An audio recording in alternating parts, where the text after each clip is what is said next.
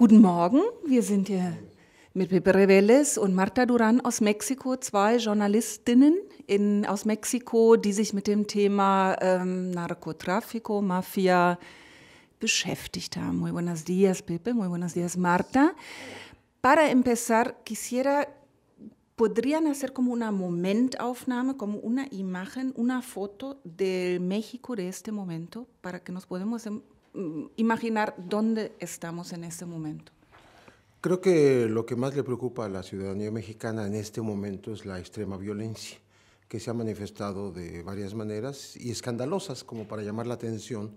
Apenas hace unas pocas semanas antes de venir acá, aparecieron 35 cuerpos tirados en un paso a desnivel de una zona importante junto a Veracruz, Boca del Río, en donde salen a relucir todos los temas y problemas porque primero el gobierno dice que son delincuentes Luego aparece que los liquidan, se, atribuyen a haberlos matado, los llamados matacetas, que nadie sabe qué grupos son, son paramilitares, pero no saben si de origen privado o de origen oficial, o una combinación de las dos cosas.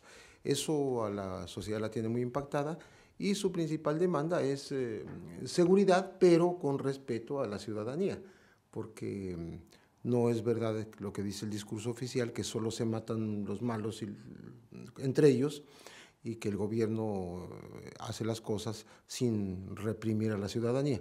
Entonces, eh, estamos hablando de una cifra superior a los 50 mil muertos en cuatro años y medio, y eso tiene a México crispado. Marta, ¿quieres agregar algo? Sí, además lo que más aterra es que cuando hay un delito, la gente no tiene dónde quejarse, no confía en la policía. En muchas zonas la policía es parte de las bandas de delincuentes. No hay una institucionalidad. Y lo terrible es que cada vez que cae una banda de secuestradores o una banda de asaltabancos, la buena parte son policías en activo, Entonces se pierde eh, eh, la frontera entre la policía y el crimen organizado. Crimen organizado es incluso parte del gobierno y el gobierno es crimen organizado.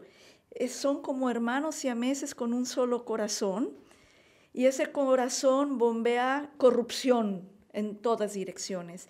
Y yo veo que además de haber corrupción, hay algo aún peor, es la impunidad, porque la impunidad es una invitación a que todo el mundo mate, todo el mundo robe, todo el mundo haga lo que quiera, no les va a pasar nada. Calderón está hablando de la guerra contra el narcotráfico y la Universidad de Heidelberg también calificó a México en un estudio recién, no sé si lo conozcan, de país en guerra. ¿Ustedes están de acuerdo con esto? Que México es un país de guerra en este momento y en este caso, ¿quién está luchando contra quién?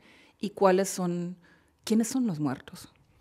Sí, es una guerra. Calderón se arrepintió de haberla llamado así, pero justamente eh, un sacerdote italiano que tiene mucho tiempo trabajando con migrantes en Tapachula, Flor María Rigoni, acaba de decir hace tres días que en el país hay una guerra no declarada en muchos sitios. Eh, finalmente, como se le denomine, eh, yo creo que el gobierno ha escogido una estrategia de confrontación con las bandas que, que no, son, no están en lugar fijo. Por tanto, no, es una guerra de posiciones.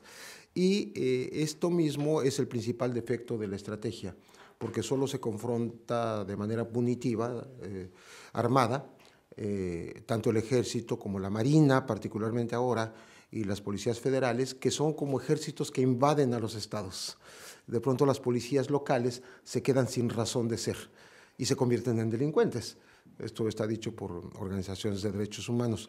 Y entonces, la, el, decía yo, el defecto principal de la guerra es solo confrontación, porque no le están quitando el dinero, la estructura financiera a las empresas transnacionales que son las del narcotráfico y de la producción y, comercio de drogas. Eh, no le están quitando la complicidad de las autoridades locales, como decía Marta hace un momento, porque son finalmente un, uno y lo mismo autoridades y, mm, locales, policías, con la delincuencia. De hecho, los califican así, a los del norte del país le dicen policetas, o sea, policías que son al mismo tiempo del cártel de los Zetas, por eso les llama policetas.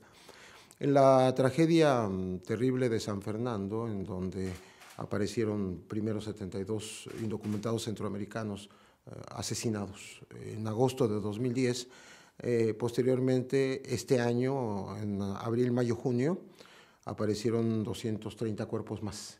Y hay declaraciones de que hay desde autobuses enterrados hasta detenidos que hablan de que hay otros 600 cadáveres ahí bajo tierra, ¿no? ¿Autobuses enterrados? Sí, o sea, eh, autobuses de pasajeros eh, con gente que iba a Estados Unidos, la mataron ahí mismo arriba del autobús y luego lo metieron bajo tierra. ¿Con pasajeros? Con todo y, con todo y pasajeros. Eso, eso es algo terrible, yo lo digo en este libro, Em, no, no, había salido a la luz pública, pero yo vi los partes policiales. ¿no?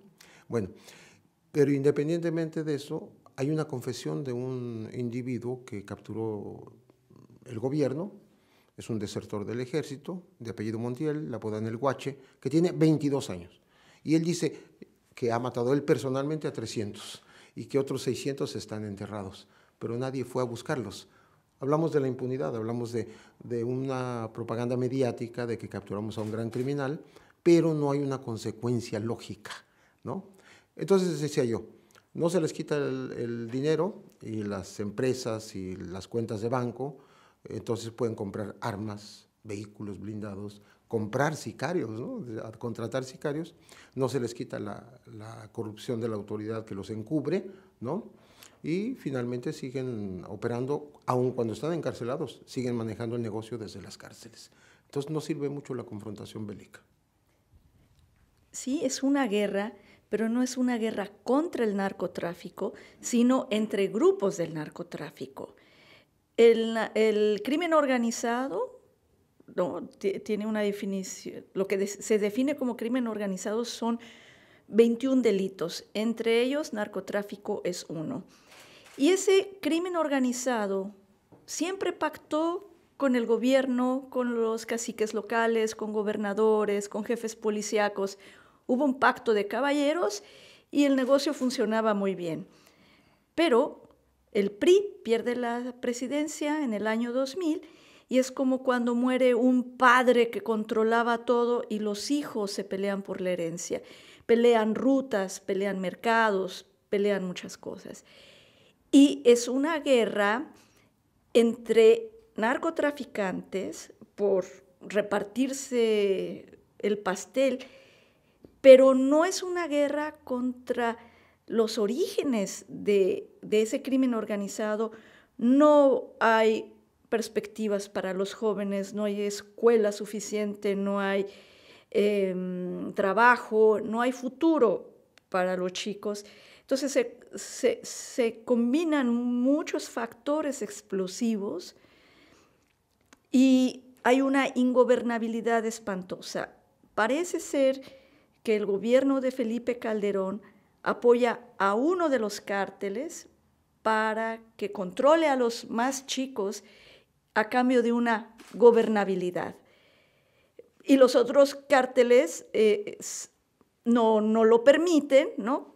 se quejan siempre de que haya protección a un cártel, el cártel de Sinaloa, y cada vez que capturan a un capo o matan a un capo, los siete cárteles originales se subdividen y luego se vuelven a subdividir. Y a la fecha, ¿cuántos subcárteles habrá, Pepe? ¿12? Hay grupos emergentes eh, que hacen que sean más de 12 los conocidos, pero además mm, rompen, pero luego se vuelven a aliar. Incluso cuando hay muertes entre ellos, pero por conveniencia vuelven a aliarse. Y no hay quien controle, no hay quien controle esa guerra prácticamente de todos contra todos. Y los nuevos cárteles son, las nuevas organizaciones son muy violentas porque el terror es un arma política, paraliza a la gente, la tienes en, shock. Un poco lo que decía Naomi Klein con la doctrina del shock. ¿no? más para entender bien. Dicen los dos que es una guerra, dicen que es una guerra de diferentes, no contra el narcotráfico, sino de las diferentes bandas, eh, una contra la otra. Ahora, esos migrantes en camiones que fueron enterados en, San Fernando, me imagino que no pertenecían a ninguna banda, así que tenemos también un sinfín de gente que son daños colaterales, o no sé, ¿quiénes, de cuánta gente estamos hablando que está metida en esta guerra involuntariamente? Bien que lo preguntes porque exactamente lo que yo iba a decir es que, lo que la que está siendo afectada es la ciudadanía, tanto la mexicana como la migrante, la que pasa por la República Mexicana desde Centroamérica buscando el sueño americano, buscando trabajar ahí. Hay cifras oficiales de la Comisión Nacional de Derechos Humanos que cada año por lo menos 20 mil migrantes son secuestrados, torturados, extorsionados hasta que la familia manda dinero y eh, finalmente las mujeres violadas, algunos hombres mueren también y otros finalmente salen libres. Pero es una tragedia humana lo que está pasando a través de, de, toda la República Mexicana, porque no es nada más el sur por donde ingresan, sino todo el istmo de Tehuantepec, Oaxaca, Veracruz y hasta Tamaulipas, que es donde aparecieron los muertos. Es, es toda la ruta migrante. Esto lo han denunciado también el padre Alejandro Solalinde, el padre Rigón y muchas otras organizaciones, y todos coinciden en la, en la cifra terrible de 20 mil al año. Esos son los que pasan por México. Porque la delincuencia, como decía Marta, no se, no se limita al tráfico de drogas, a la producción y tráfico, que, son todas. ¿eh? En México se producen marihuana, amapola, dormidera, ¿no? Se, se producen drogas sintéticas, muchísimas, ya somos exportadores de tecnología para fabricar drogas sintéticas porque las recibimos por el, por el puerto de Lázaro Cárdenas o por Mazatlán, proveniente de, de Asia, de Europa. Eh, y somos paso de la cocaína que se produce en Sudamérica. O sea, todas las drogas que se quiera las hay en México, que es un mercado eh, de seguro abasto para los Estados Unidos. Bueno, para otros, eh, para Europa también, pero vamos a decir que el principal es Estados Unidos. Entonces, no solo los migrantes, los ciudadanos comunes y corrientes ya no pueden cruzar por muchas carreteras porque hay retenes, eh, no, militares, policíacos, pero hay retenes de la delincuencia. Entonces no se sabe cuáles son de verdad y cuáles son de mentira, porque todos usan pasamontañas o la balaclava que se llama para taparse el rostro, ¿no? Todos van uniformados, camuflados eh, o con uniformes negros entonces, esto está afectando muchísimo a la sociedad. El gobierno no reconoce tanta muerte de ciudadanos, pero son muchísimos, que no tienen absolutamente que ver con algún negocio ilícito. Son comerciantes, son vendedores, son gente que, va a visitar a sus familias, que regresa de Estados Unidos o que ingresa a Estados Unidos, y esto ha generado un, un, un, clima de inseguridad absoluta. Hay territorios de la República Mexicana sin gobernabilidad. ¿Un Estado fallido? Sí, así, así se le ha llamado y yo digo que lo que es fallida es la estrategia de la guerra, porque lo que ha provocado es esto. Al no restarles ninguna, ningún poder a los traficantes, eh, lo único que hacen es que cada día estén más eh, retadores de la autoridad, pero hacen trata de personas, trata de blancas, pornografía infantil, eh, compran las armas, mandan la droga y reciben el dinero, en fin, están metidos en, contrabando, extorsión, eh, se llama ya cobro de piso a restaurantes y bares, les cobran mensualmente para que puedan operar y si no funcionan o los incendian o los atacan. O sea, es una multitud de delitos en los que ya no es nada más el producir y andar transitando con la droga, ¿no? Son otras cosas.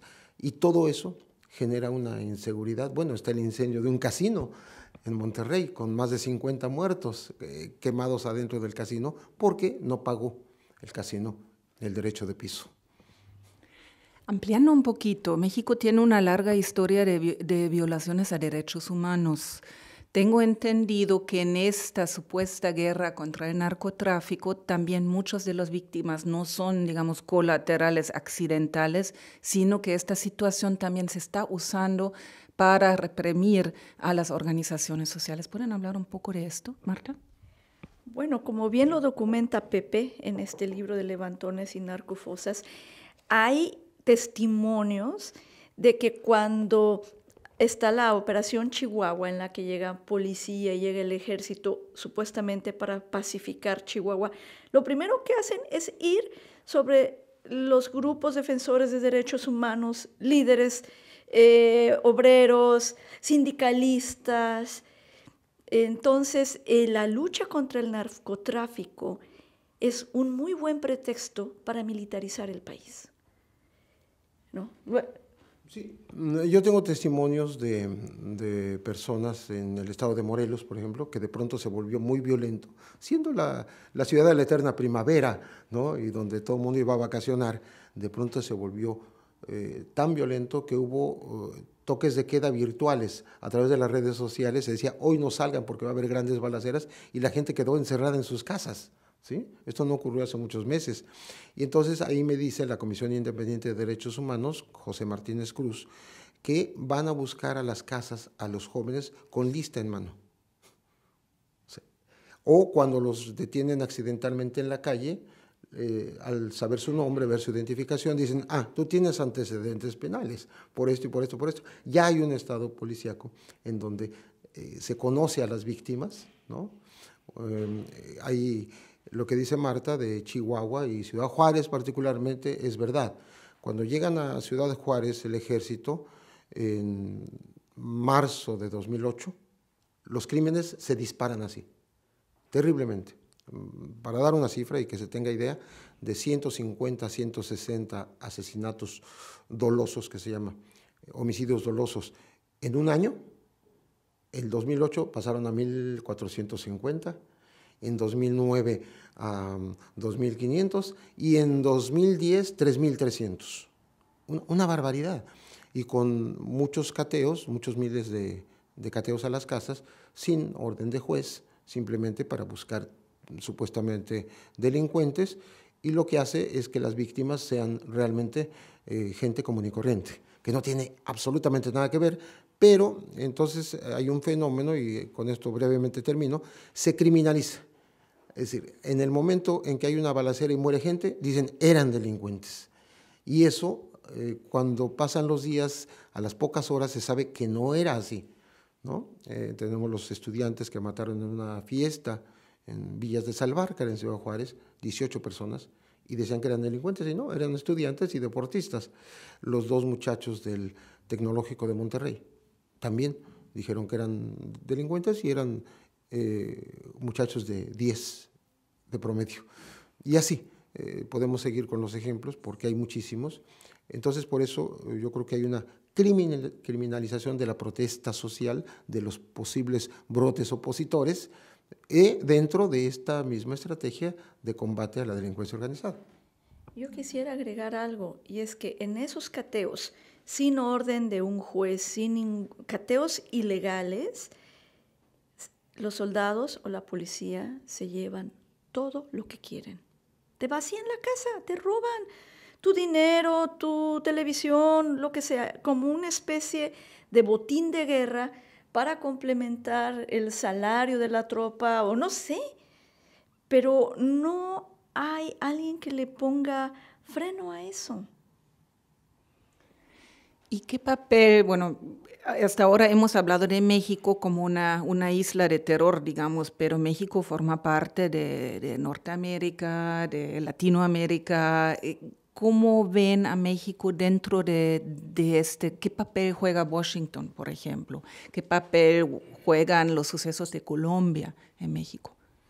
Sí, en lo que hace a Washington eh, está muy de acuerdo con la guerra de Calderón, cree que es la forma en que hay que acabar con los delincuentes y hay que seguirlos atacando hasta que se tenga el triunfo, pero no se discute la forma, la estrategia. Y Estados Unidos nos ayuda eh, con 1.400 millones de dólares en tres años en especie, o sea, en aparatos, en equipo, que es muy poco dinero para un país como el nuestro, ¿no? afortunadamente. Digo, aún así con ese poco dinero, México es muy obediente de, las líneas que marca Washington. Eh, México es un país eh, que en el exterior se, se, mueve firmando, suscribiendo, ratificando convenios, pero que en la práctica no aterrizan en un cumplimiento.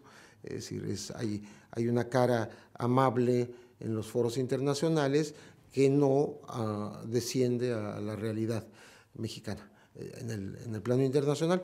En el caso Colombia, como hay un... Sí, por ejemplo, eh, en el caso de, las firmas de, los convenios, está el de la protección, por ejemplo, eh, la violencia contra la mujer, ¿no? Y de pronto hay una ley también pero no ha disminuido en absoluto la violencia contra la mujer, no hay casos paradigmáticos que tú digas, ahora está operando la ley, y lo mismo podríamos hablar de, del asunto de la decisión de las mujeres sobre su propio cuerpo, ¿no? Eh, con respecto a la interrupción del embarazo. Se aprueba una ley ¿no? en el Distrito Federal, se replica a todas las entidades, pero empieza un, una campaña del propio gobierno para revertirla y volver al antiguo, ¿no? o sea, impedir esta, esta libertad de, de las mujeres. Es, son dos casos muy concretos, aunque se firmen las convenciones internacionales, ¿no? de Belén do Pará o de, de donde sea necesario. Entonces, eso es eh, muy importante. Colombia es en este momento para mí clave y, y es parte de lo que yo uh, escribo en este libro, porque asesora, eh, forma a las policías mexicanas está formando entre 10.000 11.000 agentes soldados. ¿El ejército colombiano? Sí, las autoridades colombianas van, viajan a Colombia o hay asesores que vienen acá. De hecho, se quiso hacer en México, pero dada la violencia, justamente se trasladaron a ser entrenados en Colombia. Es un plan tripartito, o sea, Estados Unidos, a través de la Plan Colombia y la Iniciativa Mérida, eh, hace que los colombianos entrenen a los mexicanos porque es algo que choca mucho, molesta mucho a, la tradición antiestadounidense de los mexicanos que nos está informando eh, masivamente los, los Estados Unidos, los norteamericanos. Pero finalmente es lo mismo, ¿no? Eh, y el, el expresidente Álvaro Uribe asesora a Felipe Calderón y acaba de ser nombrado oficialmente en junio, en junio pasado, el 7 de junio, fue nombrado oficialmente asesor del gobierno de Chihuahua y del municipio de Juárez. O sea que es lo peor que puede pasar ahí, porque Uribe tiene un pasado terrible eh, de falsos positivos, es decir, de, gente inocente llevada a, un, a un asesinato y presentado como si fueran guerrilleros caídos en combate. Y algo que tiene que ver que Washington administra su droga. ¿eh? Eh, lo importante es que el pleito de los narcos, del crimen organizado, se quede del lado de México. Entonces ellos ponen la nariz y México pone los muertos. El problema es que no hay una discusión seria en Estados Unidos sobre la posibilidad de legalizar algunas drogas, porque eso afectaría a todo el continente. Mientras exista la prohibición, los precios serán altos, las mafias serán fuertes. Y otra cosa, el lavado de dinero. En Estados Unidos se lavan miles de millones de dólares del crimen organizado, no solamente del narcotráfico, secuestros, el dinero de los secuestros, el dinero de las apuestas ilegales, de la trata de personas, ¿no? del tráfico de personas. Y ¿cómo se llamaba este banco, Pepe? El Huecopia, ¿no? Que lavó, se, fue, fue un informe norteamericano que salió a la luz pública. 378 mil millones, 378 mil millones de dólares, según una investigación que se publicó en The Guardian, en Londres y también en Estados Unidos, que serían eh, pertenecientes al cártel de Sinaloa. Estamos hablando de una cantidad que son 10 años de ganancias, al máximo, ¿no? de casi 40 mil millones por año. Es muchísimo dinero. Pero eh, todo esto que es, es eh, muy importante por la, por la forma en que se manejan los capitales, obligó a las autoridades mexicanas a mm, poner vigilancia especial en los bancos, porque decían que había cada año entre 10 y 20 mil millones de dólares que no se sabía su procedencia. Entonces ahora lo están un poco tratando de controlar, pero igualmente es, un ingreso hormiga ¿no? de, de, dólares a la, a la, economía mexicana. ¿sí? Entonces no, no, no es fácil. ¿no? Y las armas, ¿no? Las armas de los narcos, la mayoría vienen de Estados Unidos o no? Eh, yo creo que hay una especie de leyenda de que todas vienen de Estados Unidos, provienen muchas de Centroamérica, de las viejas guerras, o Centroamérica como paso, porque es más fácil introducir armas en gobiernos débiles de Centroamérica. No es que el gobierno mexicano sea fuerte, pero vamos, sí es más, tiene más eh, fundamentos, ¿no? Que los centroamericanos, entonces entran las armas por abajo y suben hacia México, ¿no? Y también llegan muchas por las costas, o sea, el contrabando de armas de Europa y Asia es, entra por, el mar a, México. Entonces tenemos una República Mexicana, por Estados Unidos ingresan, por Centroamérica ingresan y entran por las dos costas. O sea, somos un país con muchas posibilidades de, tener armamento. Se habla de, de, cerca de 20 millones de armas eh, en el mercado ilegal. ¿No? Entonces es un, es un problema bastante fuerte. Somos un país demasiado lleno de armas y por tanto eh, que propicia la violencia y la gente cada vez quiere armarse para defenderse de, lo que pasa. Eh, yo creo que como, como, una especie de conclusión a todo esto terrible que está pasando, la solución no va a estar desde la noche a la mañana. Ni, ni con guerra, ni atacando a la estructura financiera, todo eso hay que hacerlo, que no se está haciendo. Pero hay que eh, atender a la cuestión social. Tenemos en México, se habla de hasta 8 millones de ninis, les llaman de una manera algo despectiva, que ni estudian ni trabajan, jóvenes, que pues son un mercado abierto para, para hacer una vida fácil en la delincuencia. Claro, por el desempleo no hay oportunidades, no hay tampoco suficientes escuelas, en fin, por eso el problema va a durar años, porque hay que hacer, en el caso de que se haga bien, ¿no? Hay que empezar desde ahora y va a tardar varios años en, en cambiar un poco esa, también esa cultura, en donde ahora se hace muy fácil y a través de los medios se propicia que los jóvenes vean como un ejemplo a aquellos triunfadores delincuentes y, y, llegan a la conclusión de que prefiero vivir tres, años, tres meses o seis meses rico a toda una vida de pobreza o de miseria. Bueno, te me estás adelantando, pero me parece muy bien. Eh, pregunta los dos, ¿qué es lo que hay que hacer? ¿Cuáles son los retos para el gobierno, para la sociedad civil y, em, y bueno, y para nosotros, digamos, desde Alemania, los otros países del mundo? Yo diría que para empezar, en pocas palabras, reconstruir el país. Y para reconstruir el país hay que reconstruir el tejido social. Lo que decía Pepe, el futuro de los niños, de los, jóvenes, que haya escuelas, que tengan futuro, porque esos jóvenes ven dinero fácil y muerte express.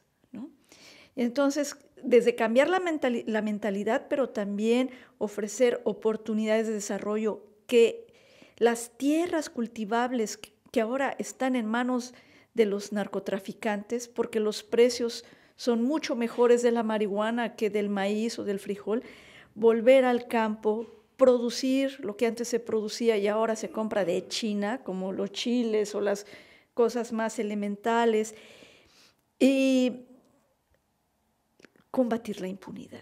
Si no hay justicia, si no hay instituciones que funcionen, el país se va a volver una especie de edad media europea en la que cada región está dominada por un cártel, por un capo, por un mafioso y se elimina el comercio, desaparece el comercio porque la gente ya no sale, tiene miedo de que la secuestren, la maten, los comerciantes se van, er, er, quiebran las empresas.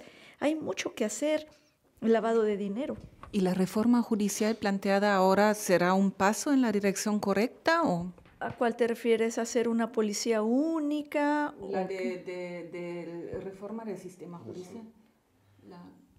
Hay, eh, ya empezó la reforma, o sea, los juicios orales para quitar el, sistema eh, original de, eh, que tiene que ver con lo acusatorio, ¿no? Aquí, aquí tendría que haber un, unos juicios públicos y ese se llama adversarial, ¿no? pero el Código de Procedimientos Penales Federales, cuyo texto acaba de publicarse en México, todavía no se aprueba.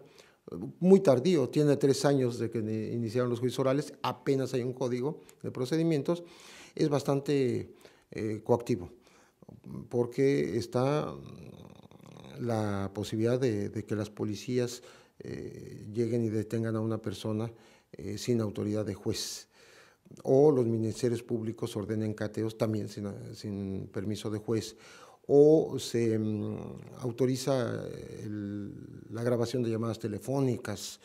En fin, eh, lejos de...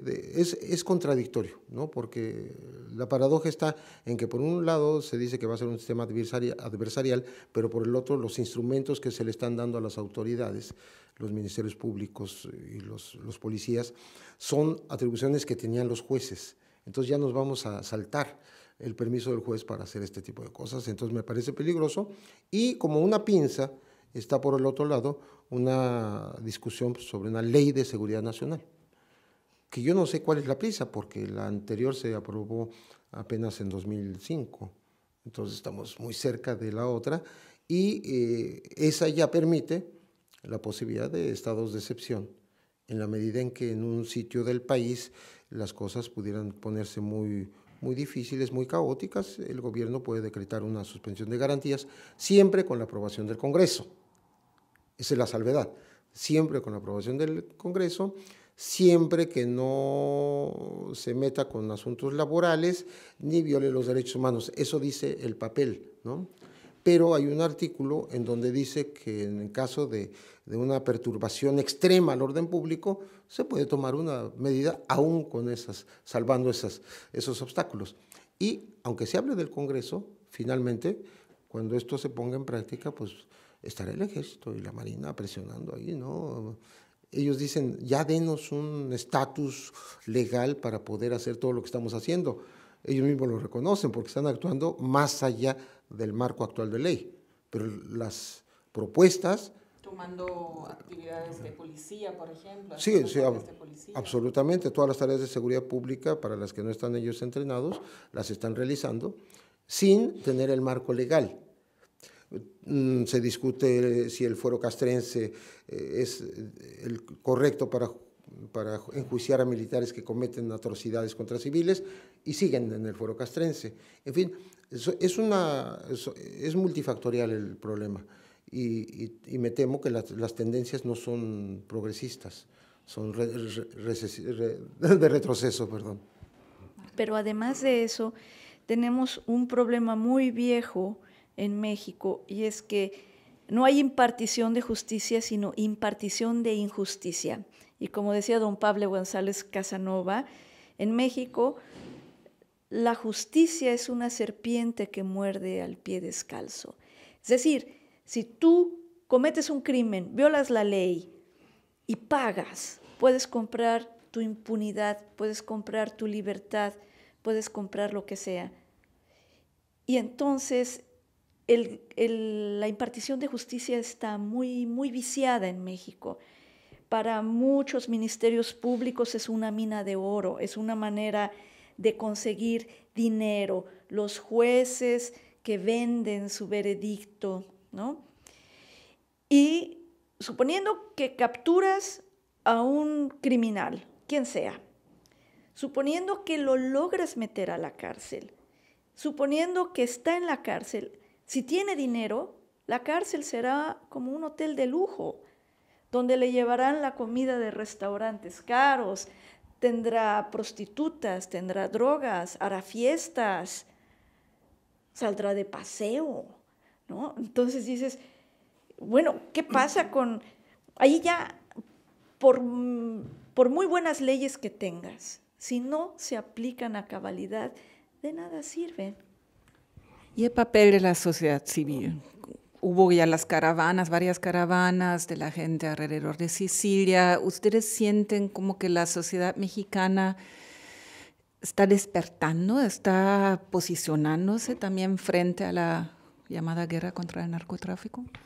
Sí, no estaba pensando justamente que con retraso, o sea, vamos con años de retraso porque la, la violencia se incrementó en los últimos años y ya han pasado varios sin que haya una reacción eh, masiva.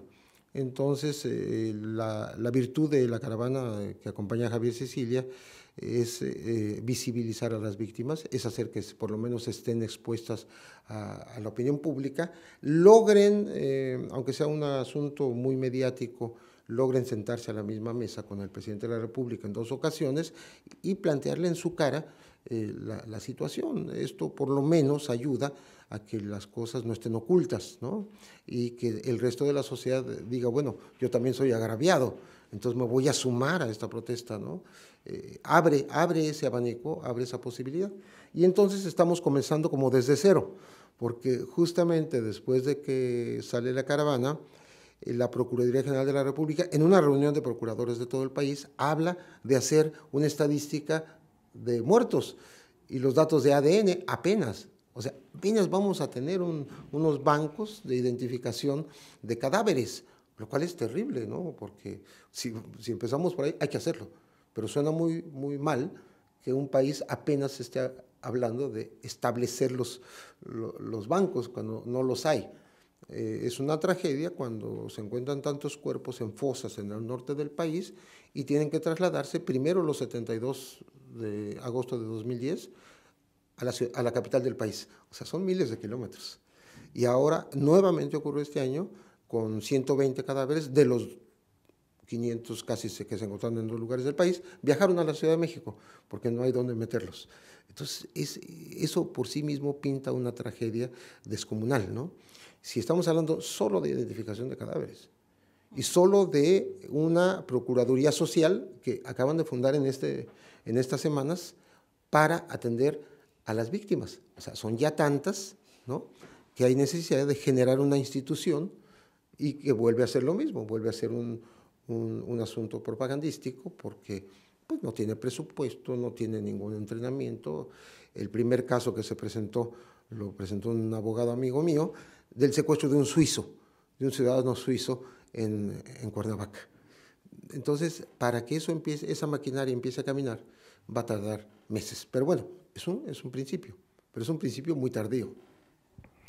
Bueno, me faltan todavía preguntas, em, pero yo creo que también es difícil abordarlo en, en poco tiempo el tema. ¿Qué papel juegan los medios? También en, esta situación, sobre todo, bueno, se sabe que México ahora ya es el segundo país, yo creo que del mundo, con muertes de periodistas y muchos en el marco de esa guerra contra el narcotráfico. Em, ¿Es posible, ustedes los dos son periodistas, es posible todavía de reportar, hay mucha autocensura y qué papel juegan los medios sobre, digamos, el, el ánimo de la sociedad civil? En la Ciudad de México tenemos un margen mayor de trabajo porque no tenemos la amenaza directa. Pero mientras más te alejes de la Ciudad de México, mientras más al norte o más al sur, el control de los medios es absoluto. Ahora, dentro de, en, la Ciudad de México, tenemos muchos medios, sobre todo eh, las televisoras privadas, los medios electrónicos, al servicio del gobierno.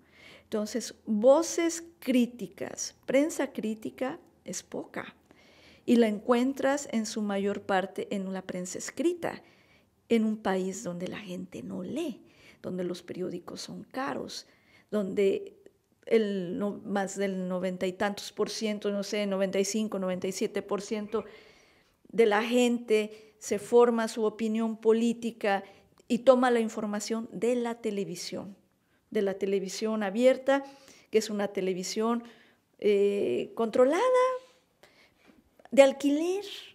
Y desde ahí se critica y se ataca a periodistas honestos, a periodistas críticos.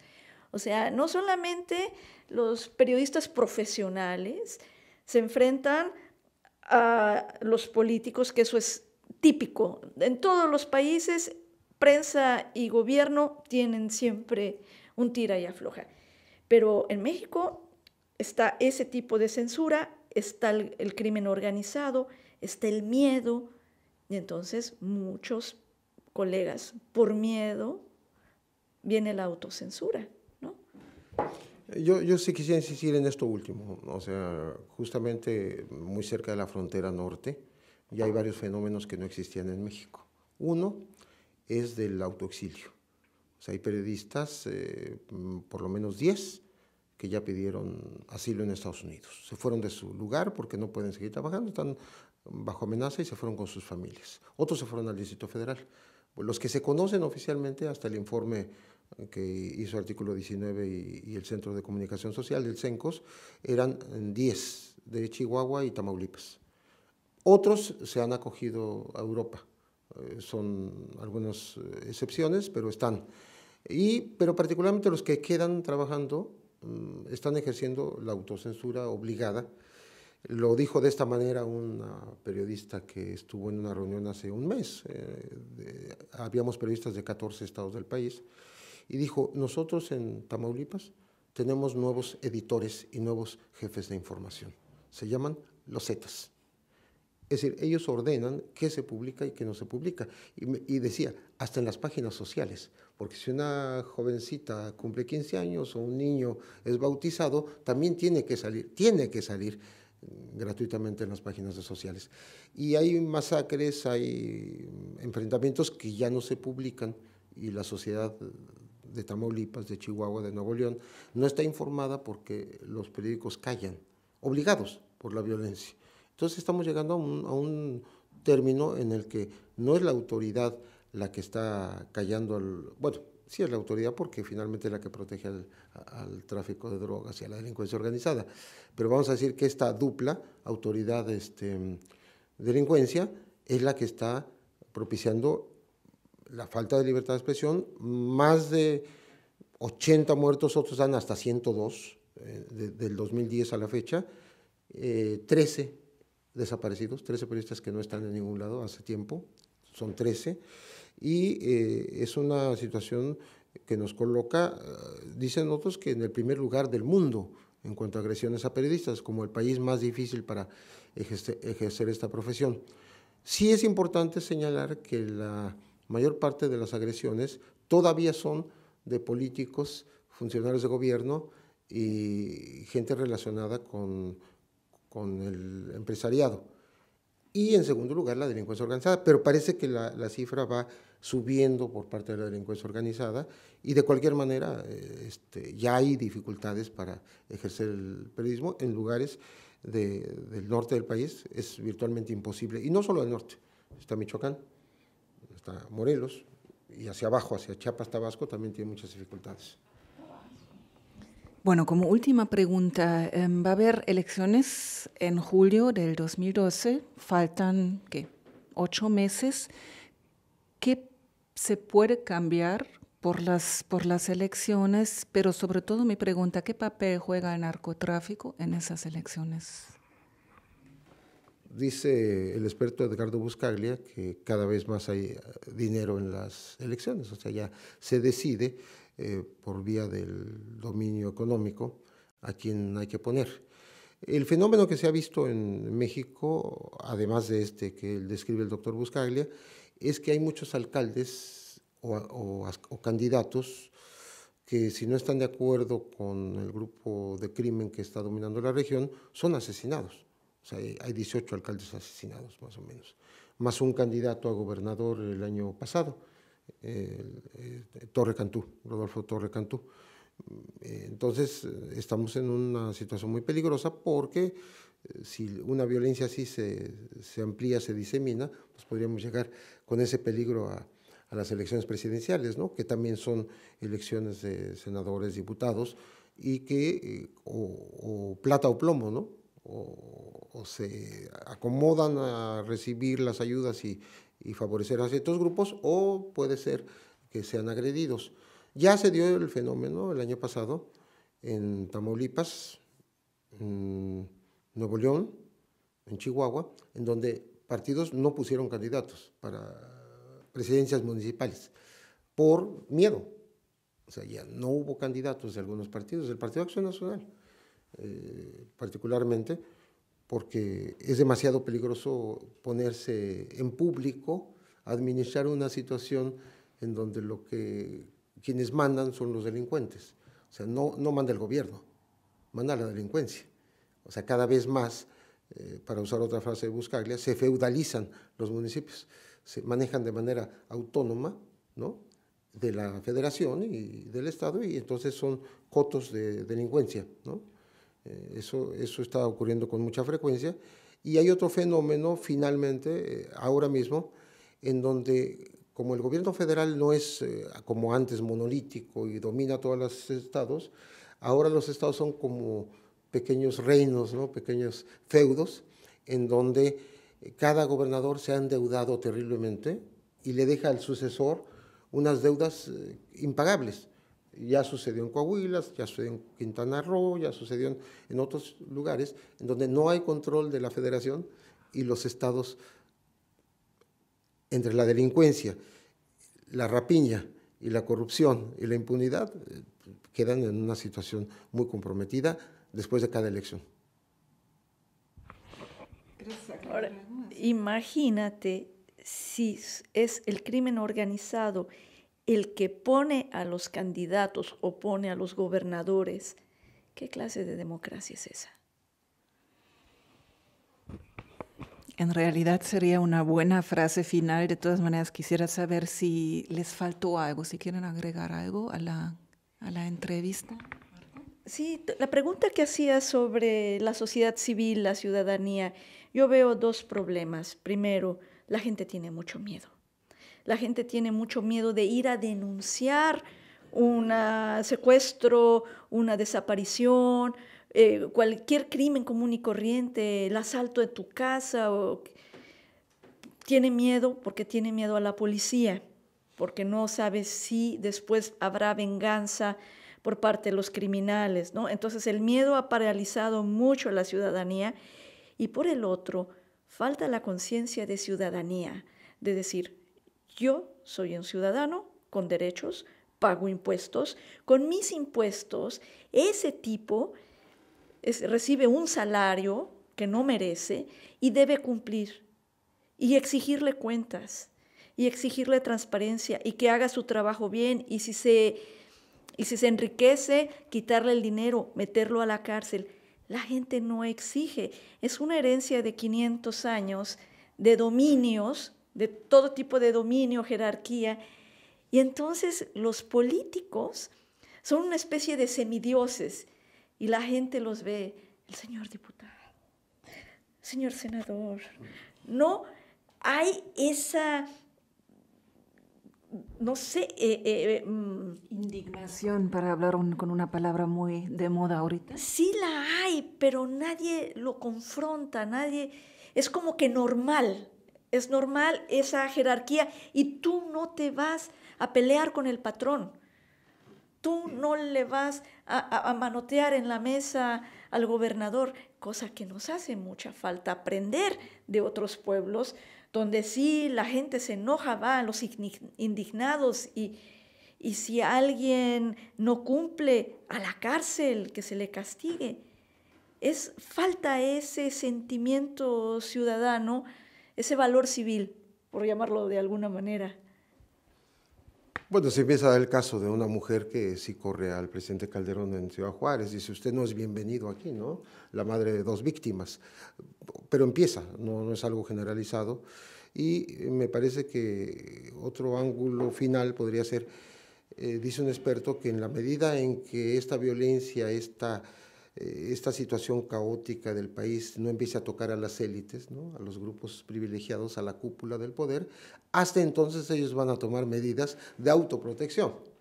Y entonces iban a llegar a castigar a culpables de alto nivel, ¿no?